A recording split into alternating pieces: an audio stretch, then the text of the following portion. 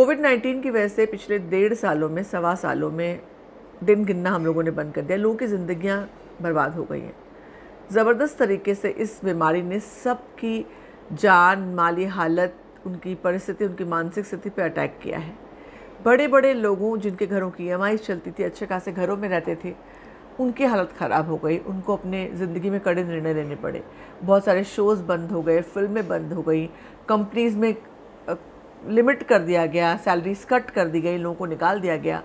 Industry के बहुत लोगों के साथ ऐसा हुआ। एक एक स्टार की पत्नी ने, वो स्टार जिसके, जिनका बेटा सुपरस्टार है, उनकी पत्नी ने ये कहा कि पिछले दो सालों में हालत ख़राब हो गई है, सारी सेविंग्स ख़त्म हो गई हैं और सारे पैसे खर्च हो गए हैं और आगे पूरी ज़िंदगी पड़ी हुई है, मुश्किलें जवान हैं। कौन है ये एक्टर और कौन है उनकी पत्नी जिन्होंने खुलासा किया तो ये एक्टर हैं राजेश खट्टर, जो ईशान खट्टर के भाई हैं। ये देखिए।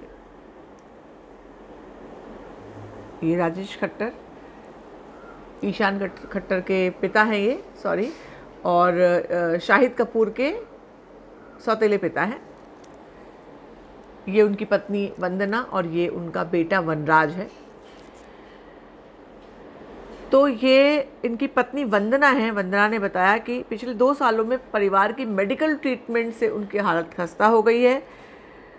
क्योंकि अस्पताल में किसी भी सदस्य के लिए बेड पाना उनके लिए किसी बुरे सपने से कम नहीं। पिछले दिनों आ, उनके ससुर यानी राजेश खट्टर के पिता की का निधन हुआ था। उन्होंने आ, पोस्ट भी किया था। तो वंदना कहती हैं कि कोई किसी के पास कोई काम नहीं था और इसलिए उन्हें अपनी सेविंग्स का इस्तेमाल करना पड़ा। उन्होंने कहा कि कोविड की फ़र्स्ट वेव में अपने बेटे का ख्याल रखने में व्यस्त थी और पोस्टमार्टम के डिप्रेशन से जूझ रही थी। उन्होंने कहा पिछली बार जब मैं हॉस्पिटल में थी तो पता नहीं क्या हुआ। मुझे जब लॉकडाउन हुआ मेरी हालत बहुत ख़राब थी। तब से लेकर बस अस्पताल में भर्ती होना ही चल रहा है। मतलब तब से वो भर्ती थी और उसके बाद लगातार कोई ना कोई अस्पताल में भर्ती रह, रहने लगा। उन्होंने कहा साल भर की पूरी सेविंग्स जो है इन दिनों ख़त्म हो गई। काम बिल्कुल नहीं है। जो भी सेविंग्स थी वो हॉस्पिटल के खर्च और दो साल के लॉकडाउन में चली गई उन्होंने कहा, बेटा, कुछ महीनों के लिए हॉस्पिटल में भर्ती था। इतने समय में सिर्फ़ एक विज्ञापन में काम किया है वंदना भी एक्ट्रेस है। उनके पति और ससुर के हॉस्पिटल में भर्ती होने की वजह से उन्हें बहुत धक्का लगा है। वहीं राजेश खट्टर ने बताया था कि कोविड की जंग उनसे, उनके पिता हार गए थे, जिसके बाद उन्हें अस्पताल से सीधा अंतिम संस्कार के लिए ले जाना पड़ा।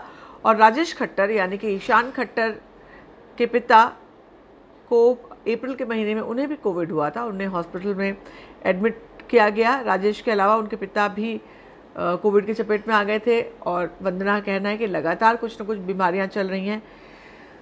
वंदना दूसरी पत्नी है राजेश की। पहली पत्नी नीलिमा अजीम थी शाहिद कपूर की माँ और 1990 बयानबे के आसपास शायद राजेश खट्टर ने इन लोगों की मुलाकात हुई और शादी हुई। नहीं, उस समय तो शायद नीलिमा अजीम से शादी हुई थी, ईशान खट्टर उस उम्र के हैं। 2001-2 के बाद उनका सेपरेशन हुआ शायद, और तब राजेश खट्टर और वंदना की शादी हुई है। फ़िलहाल वंदना ने अपने दिल का हाल खोल कर रखा एक इंटरव्यू के दौरान कि वो किस तरह से परेशान हैं और ज़िंदगी बितानी उनके लिए मुहाल हो रही क्योंकि कुछ काम नहीं है और अस्पताल और लॉकडाउन के खर्चे का बोझ उनके परिवार पर और उन पर छाया हुआ है।